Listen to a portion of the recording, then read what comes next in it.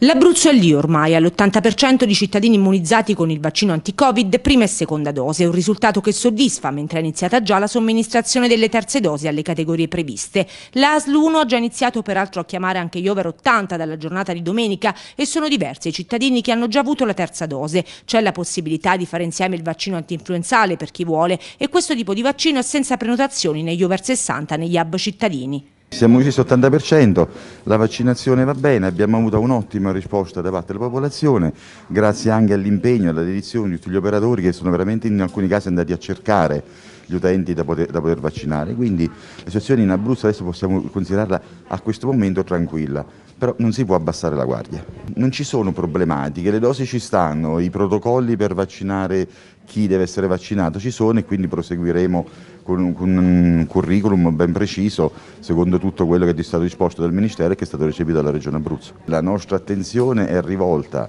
a chi non è vaccinato e assolve funzioni pubbliche o a contatto con eh, l'utenza, in qualsiasi tipo di amministrazione, sia pubblica che privata, sia sanitaria che non. Cioè noi non possiamo permettere che i non vaccinati eh, regolarmente prestino il loro servizio in, strutture eh, dire, sensibili.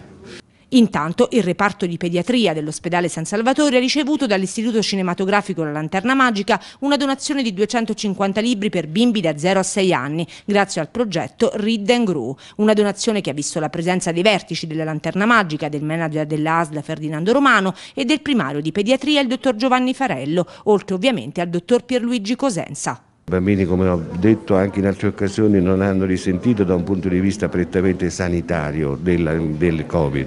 hanno invece risentito in modo molto importante del lockdown, del confinamento, del distanziamento sociale. Noi abbiamo fatto diversi studi, alcuni dei quali sono già stati pubblicati, e mettono in evidenza come ci sia stato un aumento dei disturbi di ansia, disturbi eh, di eh, paura, eh, di, eh, oltre alla variazione degli stili di vita. La permanenza in ospedale non deve interrompere questo, ehm, questo percorso eh, di crescita del bambino, anzi va potenziato proprio in questo momento in cui il bambino si trova fuori dalle mura domestiche, fuori dalla scuola, fuori dalle sue abitudini. Quindi il libro consente di ehm, continuare e perpetuare il sogno che il bambino ha leggendo, quindi leggendo il libro